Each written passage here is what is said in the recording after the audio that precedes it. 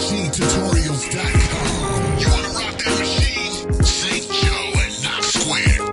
MaschineTutorials.com. Hey, what's up? This is St. Joe, MaschineTutorials.com. Just a really quick update to the video I did on how to open your projects from the Maschine controller.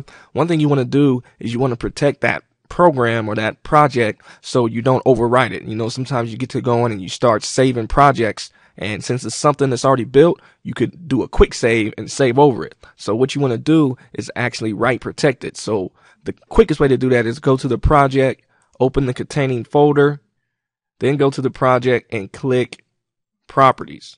You can either go to the security tab or just go right down here and say read only. Make sure you click apply, then click OK. Now what this does is say I load my project.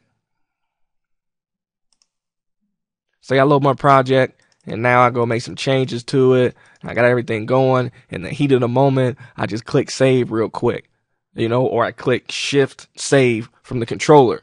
Well, what's going to happen is it's going to error out. It's going to say I don't have rights to it. It's going to tell me I can't save it. So that's going to remind me to do a save as. Now, if I do a save as, I can save it as whatever. And I'm good.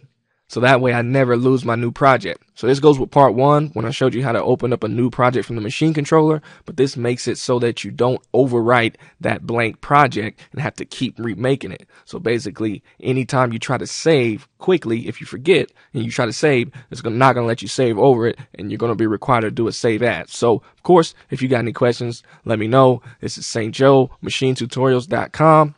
See y'all later.